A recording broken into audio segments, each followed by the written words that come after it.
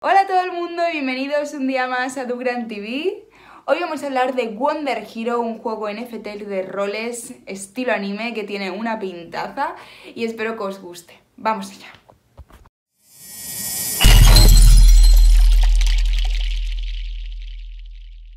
¿Qué es Wonder Hero? Wonder Hero es un juego de rol NFT muy parecido a Final Fantasy, que es un estilo de anime futurista.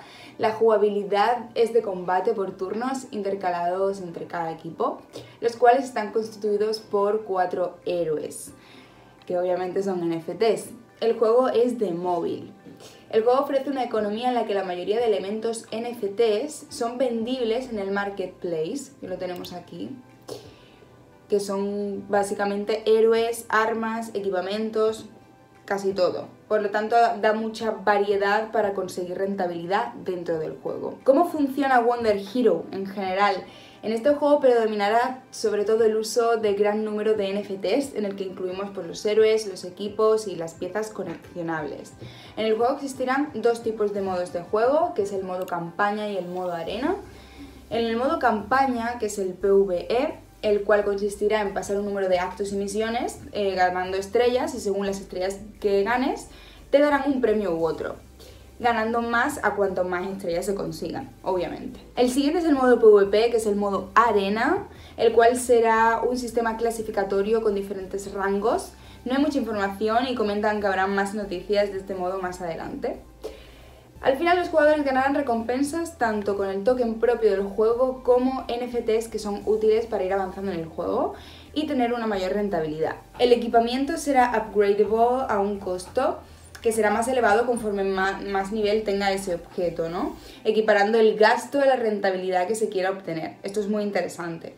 El juego posee un sistema de staking, como podemos ver, is coming soon, que ahí se podrán stackear los NFTs dándote pues una rentabilidad por ellos, ¿no? Pero como veis todavía no está y habrá que esperar a que el juego se desarrolle. Existirá un sistema de apadrinamiento para nuevos jugadores que es parecido al sistema de becas de Axie Infinity, en el cual los jugadores más expertos pueden dar equipamiento a los jugadores nuevos para que avancen más rápidamente. En su página web existe una guía muy completa que describe todo el sistema de batalla, eh, los tipos de ítems que está aquí,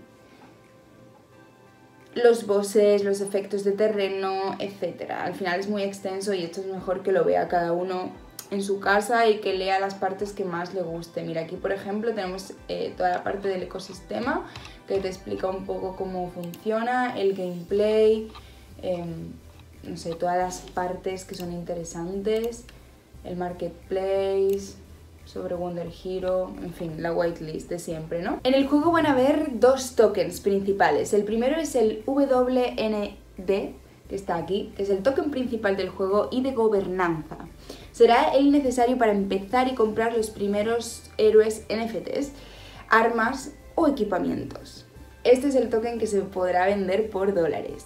Luego tenemos el Home Token, que es el token PTE, que te lo dan dentro del juego y al obtener victorias y se podrá usar también para la compra y venta de héroes, armas e ítems. El juego da NFTs como recompensas, no son monedas como tales, pero tienen un valor intrínseco en el marketplace y se puede intercambiar en él, es decir, tomamos estos elementos en forma de valor. El token se puede comprar en PancakeSwap y en Gate.io al precio actual que creo que ronda los 2,4 dólares. Así que bueno, todavía creo que es una buena oportunidad, por eso cada uno que juzgue. Ahora vamos a echarle un ojo al equipo y a los partners, le damos a About y aquí tenemos al equipo. Dentro del white paper podemos observar todos los LinkedIn de sus integrantes, que estaba aquí como os he enseñado antes.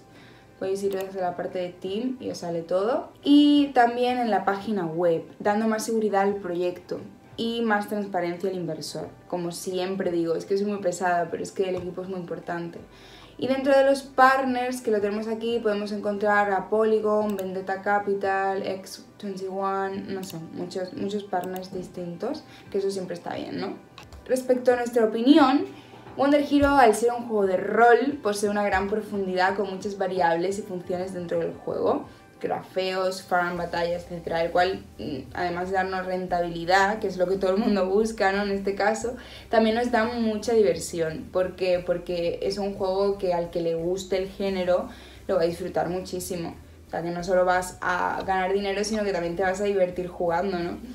Al final, a nivel estético es muy vistoso, es una estética anime que está muy bien diseñado, al estilo cyberpunk, que es futurista también y que está muy cuidado, así que eso nos gusta mucho a nosotros, a Dugran. Si a ti también te gustan los juegos de rol y el sistema de batallas, pues este va a ser tu juego.